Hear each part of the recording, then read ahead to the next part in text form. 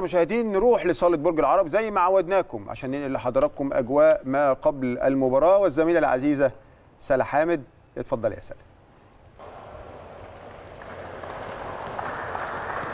تحياتي ليك طبعا يا كابتن هيثم وكل ضيوفك الكرام وكباتننا الكبار طبعا في الاستوديو الكابتن محمد السلعاوي والكابتن طاهر رجب وبكل مشاهدي ومتابعي شاشة قناة النادي الأهلي في كل مكان. وزي ما حضرتك قلت طبعا يا كابتن هيثم حاليا إحنا متواجدين داخل صالة المباراة اليوم صالة الجيش ببرج العرب في مدينة الإسكندرية. هننقل لحضراتكم كل الأجواء هنا واستعدادات الفرقتين سواء فريق النادي الأهلي أو فريق نادي الزمالك في ثالث مباراة من سلسلة the best of five لدور النصف النهائي أو ال semi final من بطولة دوري السوبر لكرة السلة رجال سريعا يا كابتن هيثم طبعا خليني أنقل لحضرتك الأجواء هنا واستعدادات فريق النادي الأهلي تحت قيادة مستر اجوستي بوش المدير الفني الأسباني لفريق النادي الأهلي. يمكن خليني أقول لك يا كابتن هيثم إن الاستعدادات يعني روتين الطبيعي جدا زي كل مباراة بالنسبة لفريق النادي الأهلي زي الاستعدادات اللي فاتت بالظبط. الفريق يعني استعد بشكل طبيعي جدا يعني استأنف أو واصل تدريباته بشكل طبيعي على نفس الصالة صالة المباراة صالة يعني استاد الجيش ببرج العرب في مدينة الإسكندرية. امبارح كان عندهم تمرين الساعة 5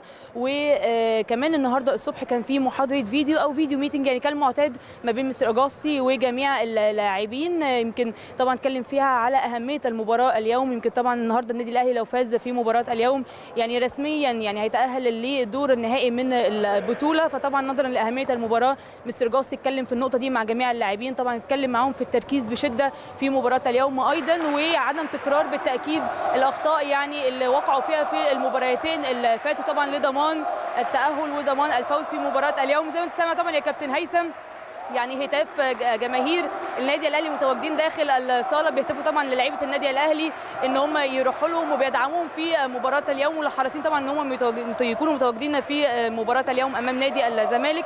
كمان خليني يعني أقول لحضرتك وأستعرض معاك يا كابتن هيثم اللعيبة اللي هتشارك في مباراة اليوم ال squad list طبعا يعني لفريق النادي الأهلي. البداية هتكون مع براندن عمر عزب مصطفى كيجو إيهاب أمين عمر طارق عمرو الجندي كريم حاتم مروان سرحان عمر عماد أو عمر جودزيلا أحمد مهيب ومحمد أبو النصر وأخيرا سيف سمير ويمكن طبعا سيف سمير يا كابتن هيثم خليني أقول لك إن هو مصاب ومش هيشارك في مباراة اليوم ولكن طبعا متسجل في ال 12 لاعب يعني في ال في ال squad list الخاص بالمباراة. لكن طبعا خليني أطمن كمان السادة المشاهدين على إصابة سيف سمير. سيف سمير يا كابتن هيثم بيعاني من خلع في أحد المفاصل الأصبع السبابة في اليد اليمنى وكمان مع وجود جرح قطعي.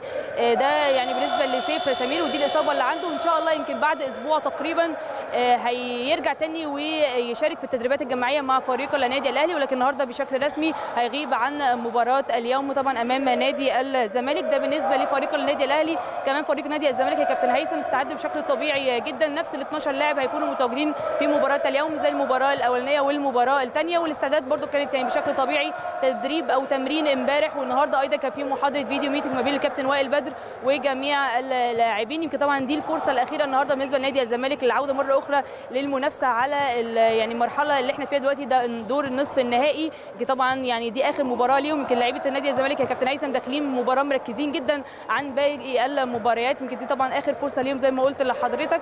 ولكن النهارده إن شاء الله يكون الفوز من نصيب فريق النادي الأهلي. كمان بالنسبة للأجواء هنا يا كابتن هيثم زي ما قلت لحضرتك في البداية يمكن متواجد هنا عدد من جماهير النادي الأهلي. ولكن بالنسبة لجماهير نادي الزمالك زي ما حضرتك شايف ورايا يمكن المدرجات فاضية. لسه يعني بدأوش يجوا لسه شوية يمكن مع اقتراب بدء المباراة هي هيظهر أو هيكون متواجد جماهير نادي الزمالك ولكن بالنسبة لمقصورة النادي الأهلي كمان متواجد فيها مستر هنريك رودل المدير الفني لمنتخبنا الوطني لكرة السلة اللي يمكن كان حريص زي ما كان حريص في أول مباراتين حريص أيضا النهارده إن هو يتفرج على المباراة وبالتأكيد يعني معظم اللعيبة اللي دايما بيضمهم في منتخبنا الوطني لكرة السلة وبالتأكيد يا كابتن هيثم أنا معاك لو في أي سؤال والآن العودة مرة أخرى للاستوديو. اتكلم عليك طبعا يا كابتن هيثم تفضل.